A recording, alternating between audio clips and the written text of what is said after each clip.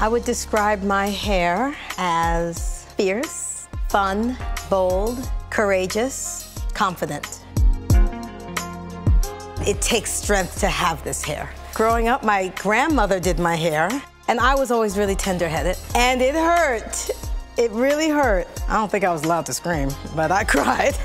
I had a big realization in my early 20s that the decisions I was making about my hair really were coming from an insecurity and really were coming from a lack of self-love. I had relaxed hair down to my shoulders and very, very quickly I made the choice to cut it and started to really embrace my hair for what it was. The coils, the curls, the thickness, the fact that it grows up and not down.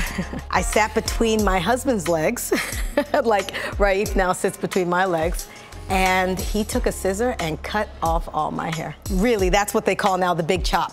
And he put little locks in for me. And I let them grow and grow and grow for 10 years, and they ended up growing almost down to my knees.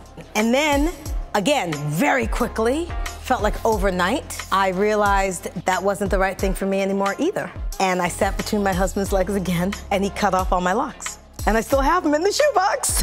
oh, why did you tell him that? Because it's true. And then I grew it out to this.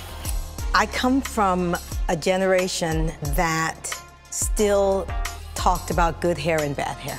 And even though the people who cared for my hair loved me, I still got the message that something was wrong with my hair. Not just because of things I was told, but also because it hurt so much to get it done. It felt like I was being punished, like somehow it was harder for me than it was for other people because of the texture of my hair.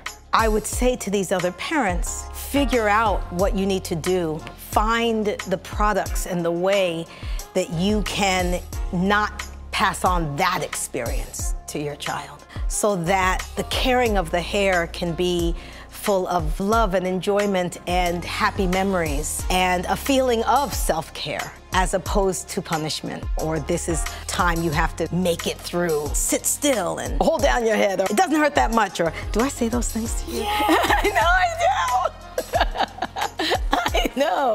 He's got strong hair. We use that term a lot growing up. It was really important to me that he love his hair, that he be proud of his curls and coils, and that his hair grows up. To the heavens! To the heavens!